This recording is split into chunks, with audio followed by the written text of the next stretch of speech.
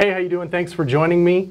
In this video, I'm going to discuss how to calculate the branch circuit size for a capacitor. Uh, the first thing we need to do, taking a look at a capacitor like this, we have 120 volt, 60 hertz capacitor with 1061 microfarads. So first thing we need to do is figure out what is the uh, capacitive reactance of this capacitor so we can use it in Ohm's law. So we're going to take our XC equals 1 over 2 pi we're dealing with 60 hertz. And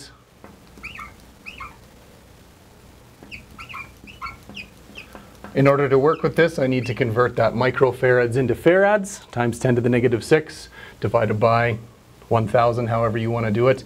Either way, this is what we're left with.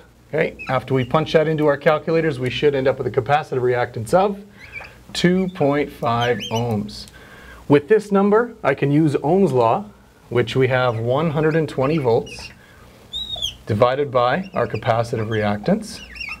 We should get the rated current of our capacitor. Should be somewhere around 48 amps. Now for any calculations that you're going to be doing with this capacitor, whether it's in a bank, this is the number that you're going to be using. Okay, is this rated current of the capacitor. So once we've got this 48 amps, the code tells us that we cannot be less than 135% of the rating of the current of the capacitor. Okay, that means whenever we do our calculation, it cannot be less than that number. So let's apply that 135%. We take the rated current of our capacitor, which is 48 amps, times 1.35, which is our 135% expressed in a decimal form. We should end up with a minimum ampacity of 64.8 amps. Now this number here is the absolute minimum that the ampacity of our conductor can be for our capacitor. Okay, so let's say we're working with a 75 degree termination on our capacitor and our overcurrent device.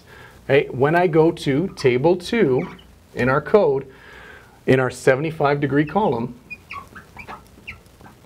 we're going to end up choosing a number 6, which is good for, has an ampacity of 65 amps.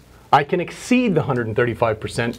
Code tells me I cannot be less than 135%. In the next video, I'm going to show you how to calculate the overcurrent device for this capacitor as well. Thanks for watching.